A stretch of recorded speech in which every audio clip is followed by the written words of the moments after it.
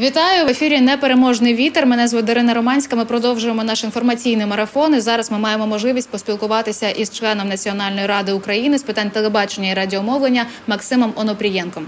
Вітаю вас, Максиме. Хочу поспілкуватися власне про наше українське телебачення і радіомовлення, про наше інформаційне військо. І почну із е, таких е, актуальних е, подій. Російські окупанти обстріляли Вінницьку телевежу. До того обстріляли Рівненську телевежу. Ще до того обстрілювали Київську телевежу. Е, в якому стані зараз взагалі наше ось українське мовлення, і наскільки критичними були ці обстріли для нас? Наскільки швидко нам вдається це відновлювати? Дякую за запитання. Справді е, телевежі наші, напевно, е, орків в списку стратегічних об'єктів на рівні аеропортів і вокзалів, і, і ми розуміємо, чому тому що е, інформаційна пропаганда, якою вони займалися всі ці роки, е, вони на собі е, знають наскільки це важливо, і намагаються позбавити нас і наших громадян е, доступу до інформації. Але хочу сказати, що нічого в них е, не виходить. Звичайно, будь-які обстріли будь-яких об'єктів це жахливо, особливо коли гинуть люди. А під час обстрілів е, деяких наших е, телевеж е, ми маємо, на жаль, втрати. Але завдяки, і ви дуже правильно назвали нашому інформаційному війську, яке мужньо під обстрілами з укриттів ведуть своє мовлення і більше того займаються відновленням тих пошкоджень, які є. і е, мовлення у нас в тому чи іншому вигляді, в принципі, є по цілій країні. Інша справа, що періодично е, після таких обстрілів може, наприклад, зникнути цифрове телебачення. Е, ми займаємося його відновленням, і можу сказати, що в Рівному е, станом на сьогодні вже відновили повністю е, цифрове мовлення Т2. Е, тому, звичайно, є області, де дуже погана ситуація, наприклад, е, Луганська і Донецька е, або Чернігівська. І тут ще справа навіть в тому, що місто без світла, і навіть тоді, коли ми всі працюємо і надаємо сигнали, надаємо можливість мовлення у людей просто немає змоги його дивитися. Але є багато різних альтернативних шляхів, якими так само ми займалися від самого початку, щоб забезпечити різні джерела надання інформації. Все працює, всі працюють, всі молодчинки і красунчики. Давайте трошки до Кіровоградської області, тому що от я перші два тижні війни була в Києві, е, зараз у Кропивницькому. І якщо порівнювати, то звісно у Кропивницькому, слава Богу, поки що більш-менш ну спокійніше, скажімо так, ніж в Києві. Але в нас так є телевежа, також є телевежа. Е, вона є окрасою міста, вона велика і коротше. Я от в разі чого, е, що ми можемо порадити нашим глядачам. Е, якщо вони там одного разу вмикають свій улюблений канал і розуміють, що доступу немає. Е, що вони можуть зробити, щоб вімкнути, перевімкнути, перевантажити, зачекати, як як їм зробити так, щоб не втрапити у о, лапи інформаційних окупантів? Якщо дозволите, найперше, користуючись нагоди, я пораджу о, адміністрації Е, забезпечити безпеку людей на е, об'єкті е, телевежа. Вже ми розуміємо, що це тенденція, і дай Боже, щоб вона обійшла вас стороною. Але необхідно забезпечити для і технічних працівників телевежі і охорони безпечне місце для того, щоб вони не знаходилися всередині в приміщеннях, а лише за потреби, коли треба якесь переналаштування зробити, е, туди заходили чи робили е, обходи е, задля безпеки. Але це вже можна передбачити і дбати про життя працівників і охорони, які там знаходяться. Щодо глядачів, так сталося, що перший день війни припав на четвер, коли Національна рада України з питань телебачення і радіомовлення мала проводити планове засідання. І вже на це засідання я їхав під е, звук і тривоги повітряної, і там обстрілів, і і так далі. Тим не менше, ми провели це засідання, і одним з перших і важливих рішень було те, що ми дозволили мовникам відійти від програмної концепції і перейти повністю на інформаційне мовлення. Друге, е, це розбудування сигналу на супутнику. Тепер сигнал на супутнику абсолютно у відкритому вільному доступі. Тому, якщо глядач вмикає одного дня телевізор і не бачить свій улюблений канал в цифровому мовленні, можна скористатись е, супутниковим сигналом. Е, у вас також в місті є е, провайдери програмної послуги або простіше кабельні оператори, кабельне мовлення, прохання до провайдерів максимально відразу його забезпечувати. Ну і наступні шляхи це все, що доступно шляхом інтернету, YouTube, сторінки телеканалів, Дія, радіоплеєр і так далі. Е, я переконаний, що ну, як мінімум, якесь одне з джерел точно точно буде працювати, і люди зможуть отримувати е, офіційну, правдиву, достовірну інформацію.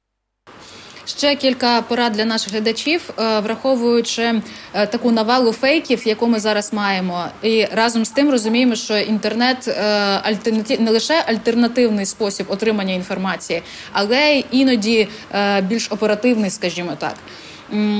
Знаю, що знову ж таки до війни е, ініціативою Національної ради з телебачення радіомовлення була е, зміна медійного законодавства для того, аби е, ну ось мати змогу регулювати діяльність медійників і в не лише скажімо так офіційних змі телерадіо, але скажімо, і ось те, що є інтернет, змі також. Е, як е, зараз убезпечити себе? Е, від того, аби не споживати інформацію з якихось просто помийок, скажімо так, інтернет-помийок, і знову ж таки не втратити, не втрапити у пастку росіян. По-перше, знову ж таки, користуватись офіційними джерелами інформації навіть якщо це інтернет, навіть якщо це телеграм, всі е, гілки і ланки нашої влади мають офіційні сторінки. Там всюди є е, офіційна достовірна інформація, і бути дуже обережним, коли е, ви підписуєтесь на той чи інший канал, чи то в Телеграмі, чи то в Вайбері, чи в іншому в іншому месенджері. Це перший момент. Е, другий момент е, зараз така унікальна ситуація, коли всі медійники і по той бік там мовники, індустрія і з боку влади, всі органи об'єдналися і виступають е, ну таким одним єдиним інформаційним фронтом. І ми всі розуміємо, що ми знаходимося у воєнному стані. Тому ми набагато швидше приймаємо ті чи інші рішення. Е, Зокрема, е, те, що стосується інтернету і там інших каналів. Е, якщо ми бачимо розповсюдження неправдивої фейкової інформації, наші там спецслужби оперативно підключаються і блокують. Тому, до речі, якщо ваші глядачі так само будуть спостерігати, нехай надсилають там вам, ви мені, і ми будемо оперативно реагувати. Можу сказати, що е, там сьогодні, та після повідомлення про те, що м, страна, такий псевдоресурс, е, їх дописи м, мають підстави вважатись як е, інформація для ворога.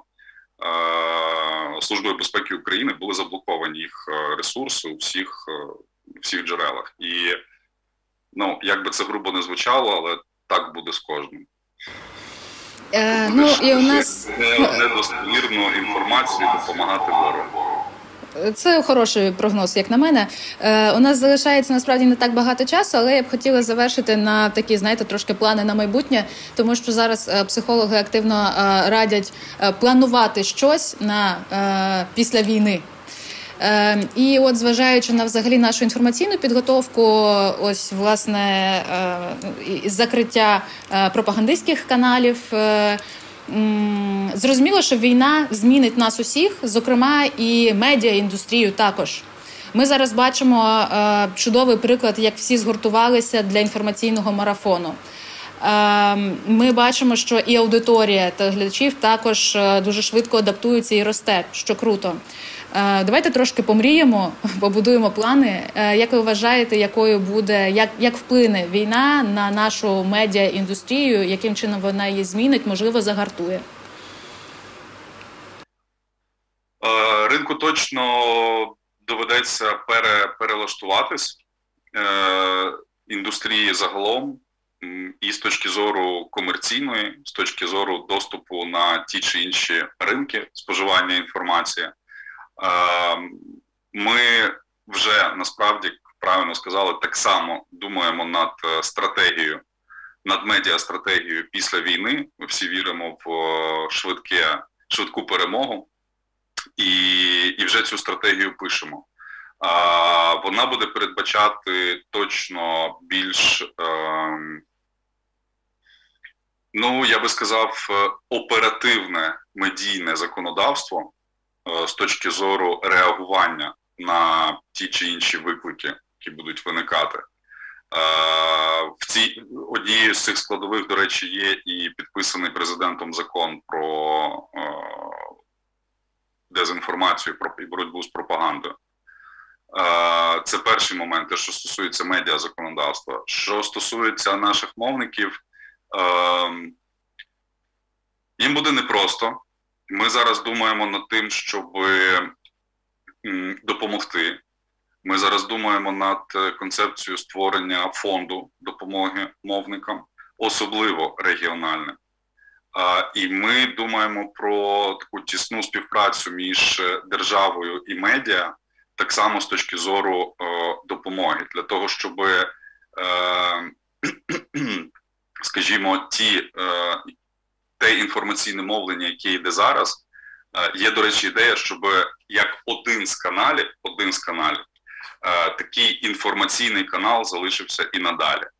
І е, ті, хто е, братимуть активну участь в, в створенні цього каналу і наповненні його контентом, так само е, отримували там підтримку від, е, від держави. Е, звичайно, ніхто не буде забирати у глядача е, дитячі канали, та чи там музичні канали. Це все, це все повернеться, це все буде. Ну, зрештою, воно і зараз є, тому що ну, дітям треба якось переключатися, і вони точно не аудиторія інформаційного марафону.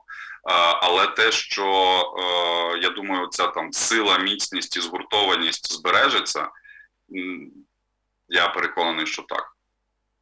Класний прогноз. Дякую вам дуже за розмову. Нагадаю нашим глядачам, що ми тільки що спілкувалися із Максимом Онопрієнком, членом Національної ради України з питань телебачення і радіомовлення. Власне, е, на цьому ми завершуватимемо наш цей інформаційний блок. Мене звуть Дарина Романська. Бережіть себе, споживайте інформацію відповідально, і Україна переможе.